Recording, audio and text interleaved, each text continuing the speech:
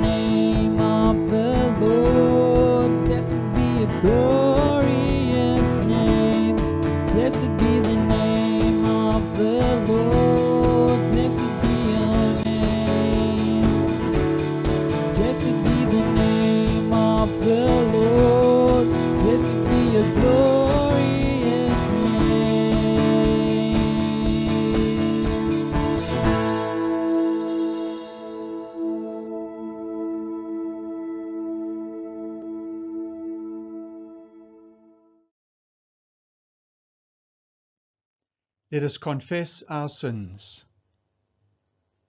Almighty God, our heavenly Father, in penitence we confess that we have sinned against you through our own fault, in thought, word, and deed, and in what we have left undone.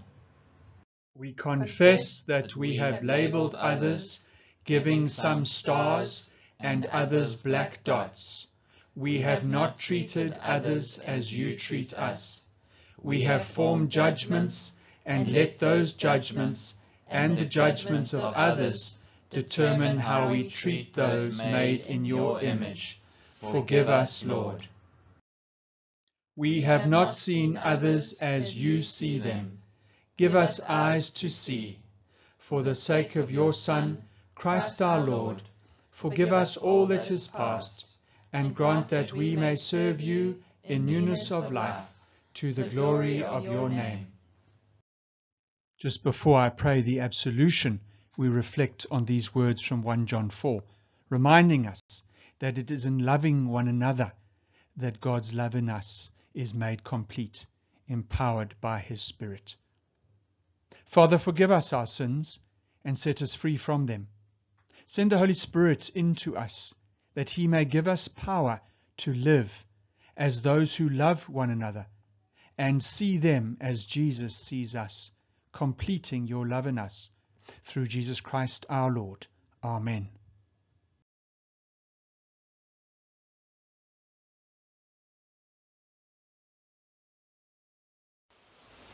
The first reading is from Mark chapter 2, reading from verses 15 to 17.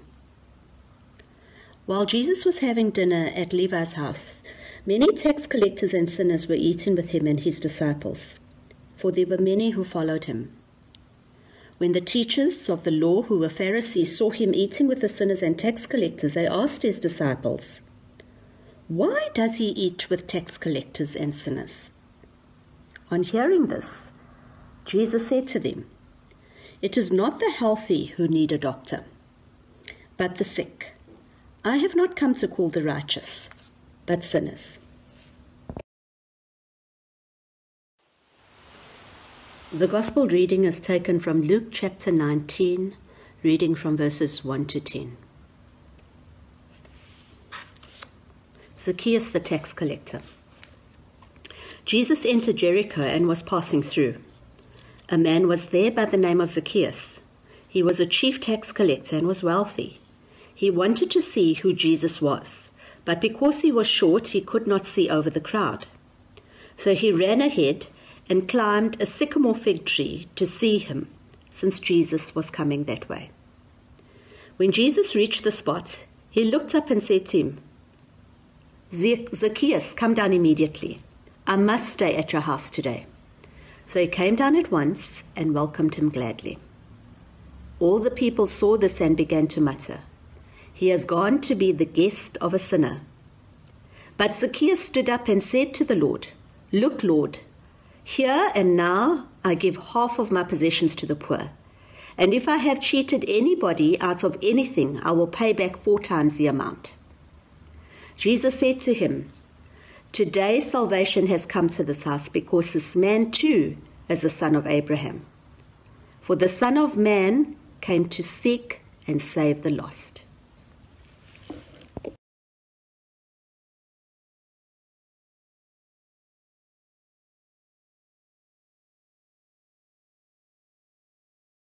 Good morning, everyone. We're in our second part of our series, It Starts With Me. And I'm really excited about this journey that God is taking us on. We've got, I think it's around seven churches linked in, a number of home groups, even in Australia and the UK. So, a warm welcome to everyone. Shall we pray as we start? Lord God, we are reminded this morning that you see through the outside. You see through our black dots and our gold stars.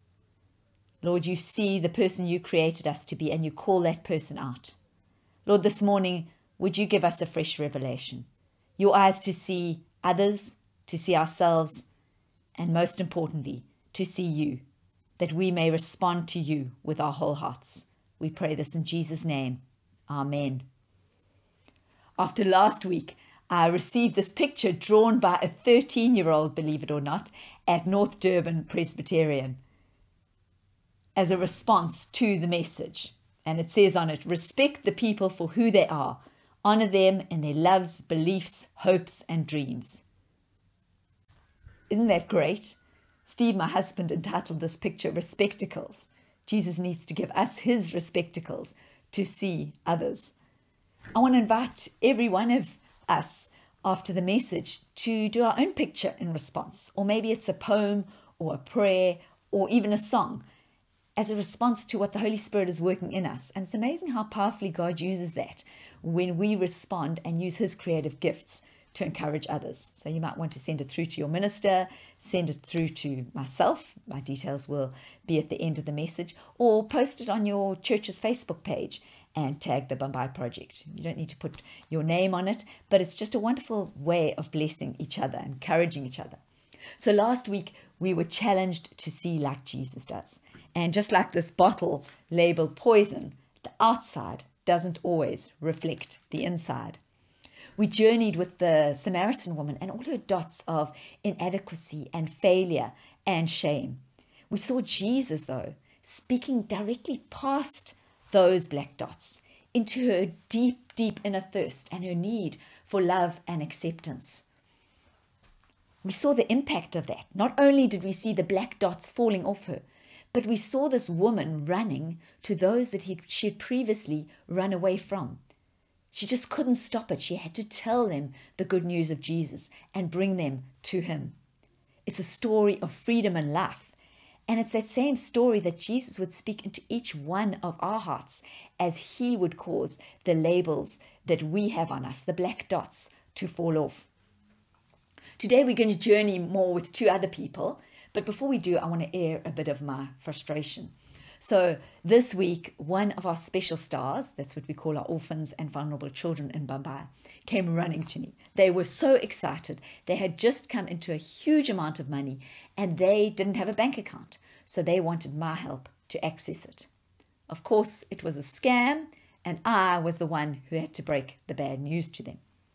When I hear of government misspending of trillions of rands, when I hear of other scams, things like the VBS and other scams, my blood boils. I think if I had to meet one of those scam artists or a corrupt government official, I think it would be messy. The only problem is, I think I would be the one coming off second best. I wonder how Jesus would respond to such people. I think I would be really mad if I saw him wining and dining with them. But that's exactly what we see in our story today. We see Jesus with a corrupt government official, one who was taking far more from the poor people than the government required, and he was keeping all the excess for himself. In fact, he had a whole lot of people working for him, and he took his slice from each one of them on top of that. Not only that, he was betraying his own people because he was working for the enemy occupier, the Romans, and this was the promised land. So, in fact, he was working as God's opposition in God's holy land. He was so looked down by the people that he wasn't even allowed into the temple, and that applied to all tax collectors. Can you see the black dots that he's covered in? Yes, there are a few gold stars, but those I think are just from people who didn't want to pay so much taxes, so we're trying to butter him up. He's so desperate to see Jesus, he was a very short man, that he climbs a, a sycamore tree. Can you see him up in that tree, covered in his black dots? That's his identity. Yet he longs to see Jesus. I think there's this deep longing in him for those black dots to disappear, to be given a new identity. We read that Jesus was passing through, but he stops when he gets to that tree and he looks up. And I want us to look at three things that Jesus says. And the first is Zacchaeus. He uses Zacchaeus' name. There's something powerful when someone uses your name. You feel noticed, you feel important. Not only that, the word Zacchaeus means pure, clean. So here we see Jesus calling out the image of God through those black dots in Zacchaeus. Jesus goes on to say, I must stay at your house. Jesus was busy. He had things to do, people to meet, places to go. In fact, he was just passing through Jericho, it tells us. And yet, the Spirit's prompting was far more important to him than his own diary pressure. It is the Spirit that leads to his must, not his own agenda. And we must remember that Jesus is actually putting himself on the line. He's putting his reputation on the line by speaking to Zacchaeus. By the very act of speaking to him, he would make himself unclean. In the culture at that time, who you shared your table with identified who you were. A shared table was a shared life. So the message that Jesus was speaking through those very words, I must stay at your house, was incredibly powerful. This is the third thing I want to draw your attention to that Jesus said nothing. I don't understand it. Jesus knows that Zacchaeus has robbed people blind, yet he doesn't call out this corruption in Zacchaeus. He doesn't tell him he needs to change. Instead, he shares a meal with him, declaring himself to be in the same camp as Zacchaeus. And what is Zacchaeus' response? He declares that he will give back four times what he owes people if he has wrongly taken any money from them. The law required him to give 120%, and yet he gives back 400%. Can you see those black dots? They're falling off him. He doesn't need to hold on to the influence, the wealth, the power anymore because his identity is found in another place. And Jesus declares that he is saved using the word sozo, which means restored, made whole. His identity is now in Jesus. We come now to the final person. He looks very impressive in his priestly attire. This man fasts, he tithes, he prays and studies God's word and teaches others. Very impressive. Can you see all those gold stars that people have given him? But Jesus calls him a snake. He tells him that he's good on the outside, but a coffin in the inside. This man doesn't want to give up on those gold stars. They're more important to him than following Jesus. He loves to feel admired and important. That is where his identity is. What a contrast this man is to Jesus.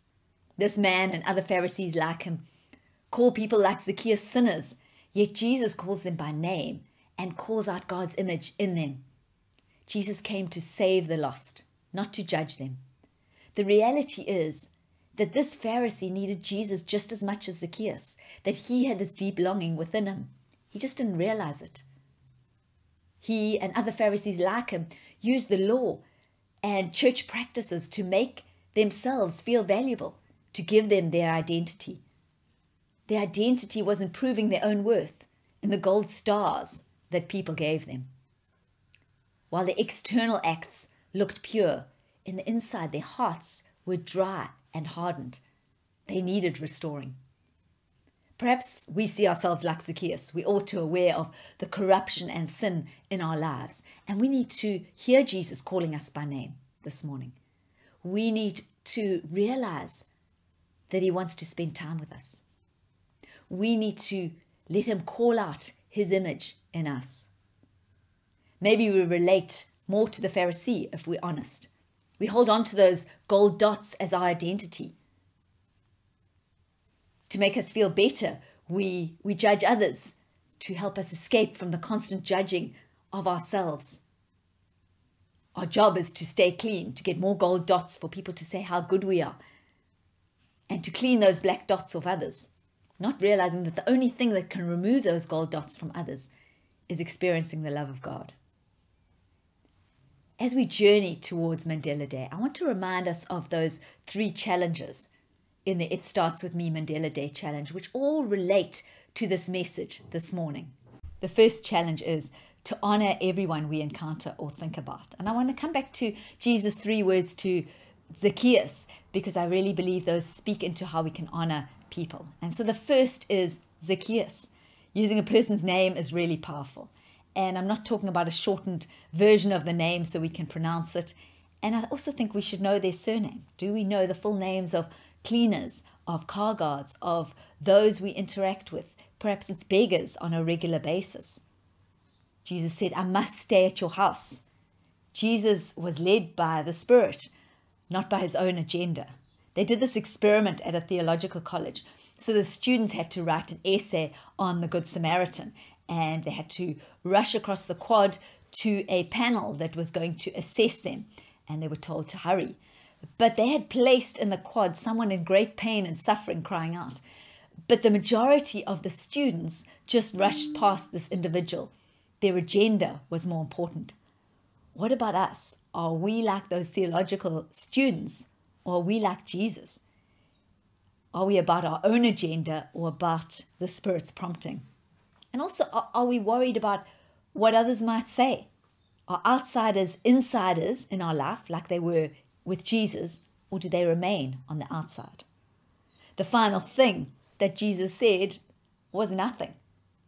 How tempting it is to try and play God, to come up with our fix it plans for those people to try and scrub away their black dots. And we need to be reminded that it's only by experiencing the love of God that those black dots will fall, fall away. That we need to call out the image of God in everyone we meet. So the first challenge was about honoring everyone we encounter. And the second challenge is the 67 minute reflection. But I'm going to encourage us, it's, it's a big reflection. I'm going to encourage us to spend a bit of time each day in the week ahead on it. And there's going to be daily devotions focused on each grouping in the rainbow. So if you haven't been getting them, your minister does get them daily, or you can contact me and I'll send them through to you. So it starts with me. We start in the center today and Monday reflecting on ourselves. At our funeral, what would we want people to say about how we saw others? How should that inform our living today? On Tuesday, we reflect on those close to us. And in all these sections, we, we look at those that we have judged and those that have judged us. And perhaps those close to us can be the hardest one. Perhaps a parent that we have felt hurt or, or angered by. And perhaps, perhaps it's a sibling that we have judged them because of the differences and, and felt that they are less than. Perhaps it's our own children that we have judged and we felt that their behavior has impacted us because we've wanted to show those gold stars to the world.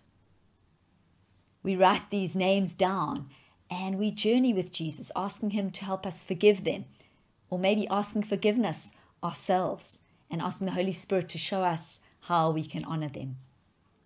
On, on Wednesday, we move on to those who impact our lives teachers, school friends, work colleagues, the boss, and we journey in the same way. On Thursday, the focus is on those unseen by us, whether it's the shop assistant, the car guard, maybe even someone who works in our own homes. How would they say you make them feel? And it's not just about our words. Often we don't realize what our tone, what our eyes convey. The eyes are the window of the heart. We need to be seeing them as Jesus does. On Friday, we journey with people we have judged because of the group they fall into, whether it be the convicts, the homosexual, the person of a different skin color to us, whether black or white, the person of little education or, or little income. It's about us and them. Friends, there is no us and them in the kingdom of God. And just a reminder on the Bambai Project website under the Mandela page, under the, the link other resources. We've got some fantastic secular movies to challenge on this, and there's some great Christian resources. So go go there and, and, and journey with them. And a reminder the third challenge is to live on less than 10 Rand a day for the day. That's next Saturday, so we won't ask you to journey with that for the week. And to give the money you save to an organization that's investing in the long term transformation of lives, not just focused on handouts. So I'm sure you probably have one that you want to give to. But if you don't, I'd really uh, love to encourage you to invest in the Bambai project. And we will use that money wisely to, to invest in transforming the disadvantaged communities where we're involved and growing the kingdom of God. Friends, this is a deep, life changing journey of the heart. Jesus sees past the black dots and the gold stars. He sees our real need that deep thirst in us for love, acceptance, and security. And that's where he meets us. And as he does, those gold stars and black dots fall off. And we need to do the same for others. Galatians 3 28, paraphrased as I said last week there is neither black nor white, domestic worker nor business owner, Malawian nor South African, nor is there male and female, for you are all one in Christ. The ground is level at the foot of the cross. Let's see others and ourselves through the eyes of Jesus. Let's pass this challenge on to others and impact our nation. Friends, it starts with us. Let's pray. Jesus, thank you for seeing us, for seeing past the black dots and gold stars to your image in us. Holy Spirit, continue to open our eyes to those black dots and gold stars that we hold on to. And as we have a time of quiet, Lord, remind us now of our identity in you, that we are children of the living God, And because of that identity, we have the confidence to let go of the labels the world would put on us or that we would put on ourselves. Lord, give us courage and discipline to journey in the week ahead with what it means to see others and ourselves through your eyes. Where there is pain and hurt, remind us that you know what that feels like, and you journey with us in the path to your freedom and your life. Jesus, may we see with your respectacles that our lives may shine your love to those around us and give glory to your name. We pray this, Jesus, in your precious name. Amen.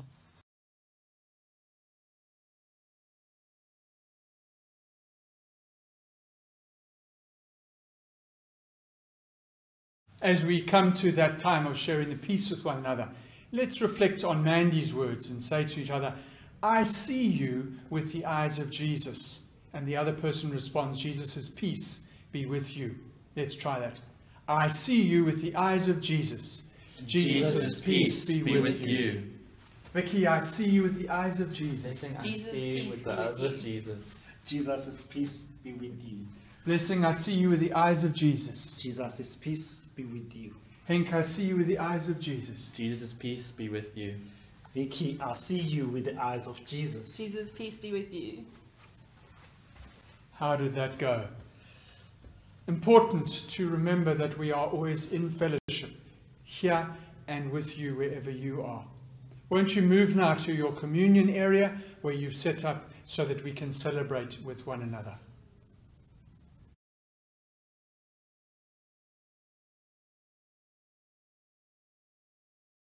One of the things about the communion is that we understand that God inhabits this place, inhabits your home, inhabits the elements that you're offering for Him to transform into His body and blood for us.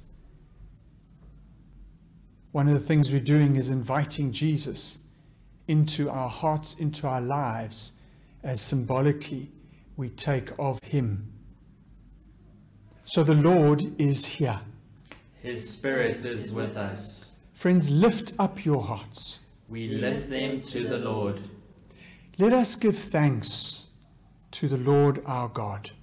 It is right to give him thanks and praise. It is right, it is our duty, our honor, and our joy to give God thanks through Jesus Christ our Lord. We're reminded that it is through Him we were created in His image. Through Him we were freed from sin and death, and through Him and the gift of the Holy Spirit we have life. And so we join with the ancient words of Scripture echoing around heaven as we say together, Holy, holy, holy God, God of power and might, heaven and earth are full of your glory. Hosanna in the highest. Blessed is he who comes in the name of the Lord. Hosanna in the highest. Hear us, Father, through Jesus Christ your Lord, and grant that by the power of the Holy Spirit, these gifts of bread and wine may be to us his body and his blood. Jesus, in the night that he was betrayed, took bread. He gave you thanks and he broke it and gave it to his disciples, saying, Take, eat. This is my body given for you. Do this in remembrance of me. In the same way, he took the cup. He gave it, gave you thanks, and gave it to them, saying, Drink this, all of you. This is my blood of the new covenant, which is shed for you and for many for the forgiveness of sins. Do this as often as you drink it in remembrance of me. And so let's proclaim together the mystery of our faith. Christ has died. Christ is risen. Christ will come again. Father, proclaiming his saving death and resurrection and looking for his coming in glory, we celebrate with this bread and this cup his one perfect sacrifice. Accept through him this our sacrifice of thanks and praise. He is our great high priest, and grant that we who eat and drink this bread and this drink from this cup be renewed by your spirit and to grow into his likeness. Through Jesus Christ our Lord, by whom and with whom and in whom all honor and glory are yours, Father, now and forever.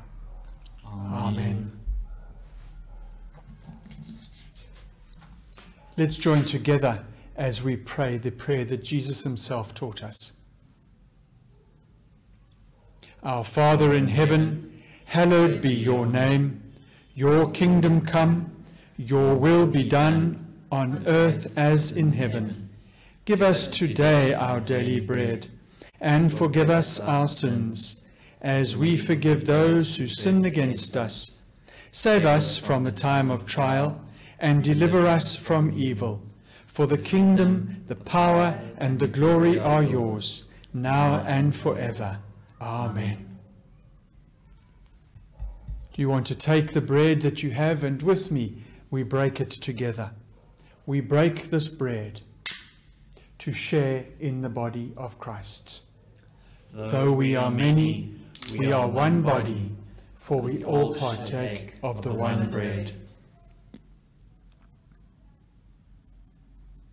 Knowing that Jesus sees you through his eyes of love, compassion, and acceptance, draw near and receive his body and his blood broken and shed for you.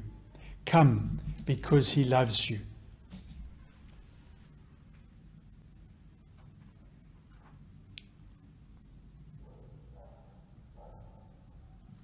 The body of our Lord Jesus Christ.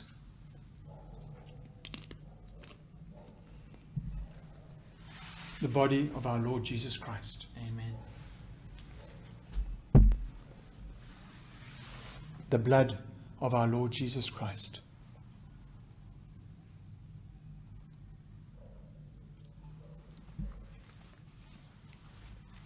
The blood of our Lord Jesus Christ. Amen.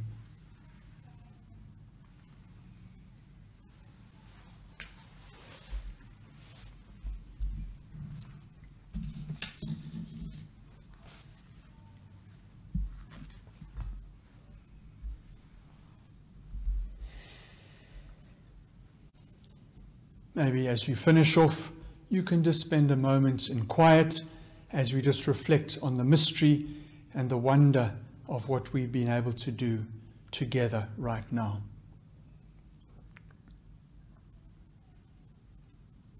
The psalmist reminds us to give thanks to the Lord, for he is gracious.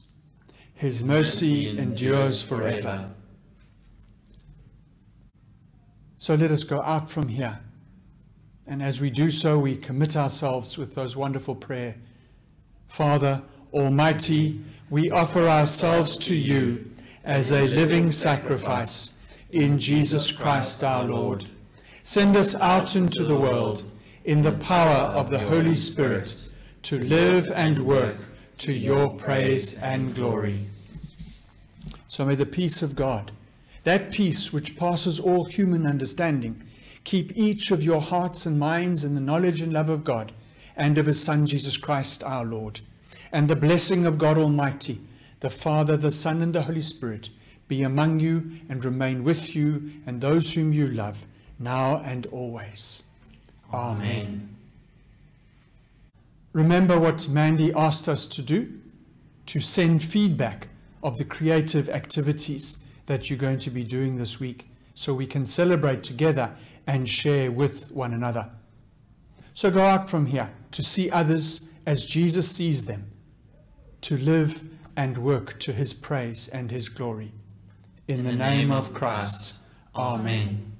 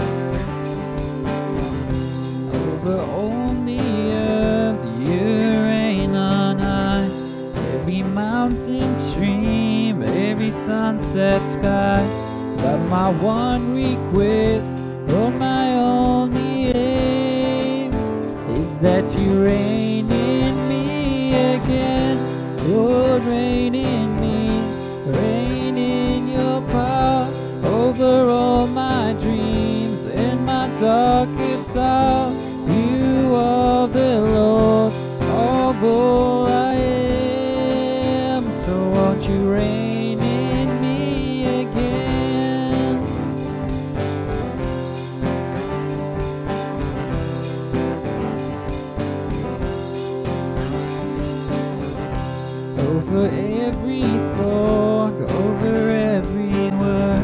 May my life reflect the beauty of my Lord. Cause you mean more to me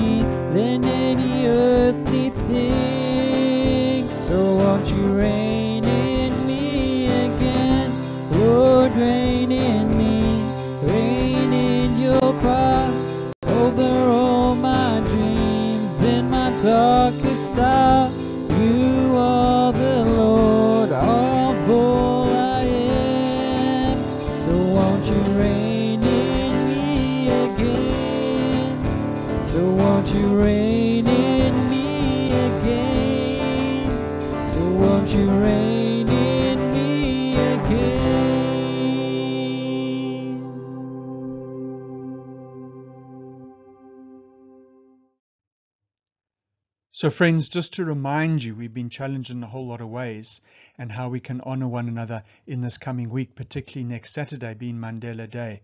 Henk, which one of these are you going to be uh, focusing your attention on? Number two, the 60 minutes honor reflection. Yes, and I think, in fact, Mandy during this week is going to help us to unpack that uh, in our weekday messages. And certainly in the handout that you are receiving, you will have more details on this. So please get involved. Reminder to send pictures, prayers, poems in anonymously if necessary so we can celebrate together. Families, get your kids involved and let's make this journey a wonderful journey of celebration as a community. May the Lord bless us and watch over us. May the Lord make his face shine on us and be gracious to us. May the Lord look kindly on us and give us peace. Thanks for joining us today and have a great Sunday.